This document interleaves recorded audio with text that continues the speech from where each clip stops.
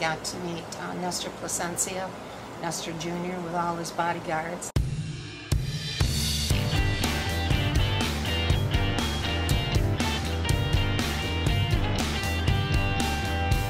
Um, my name is Rhoda Bogardus, Hubbard State Cigar Shop, 6 West Hubbard, downtown Chicago.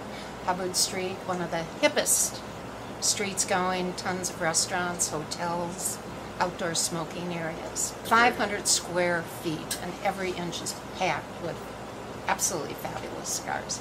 A lot of the um, newer brands, uh, the little boutique selections we carry a lot of fun, plus What- all the major brands. Rocky Patels, we sell about a hundred edges every week. Uh, Davidoff, of course, uh, we're a destination for people to come to get the Davidoffs. Ashton's do very well, Paul Garmirians, and then Romeo's, Fuentes, all the big boys. Um, the new Armand Assante uh, cigar that's coming in, I have not had the chance to taste it yet but um, he's actually involved with the construction and the marketing, and he owns part of the company, so that's the hands-on. Just received a huge shipment from uh, Pete Johnson Tatuajes. Excited about getting those, considering there's such a backlog of orders. Um, there are a number of restaurants um, on Hubbard Street that you can sit in their patio and smoke a cigar and have a cocktail. O'Callahan's, Sullivan's, and the Boss Bar. And then there is Erie Cafe, which is a restaurant that has a big outdoor dining area.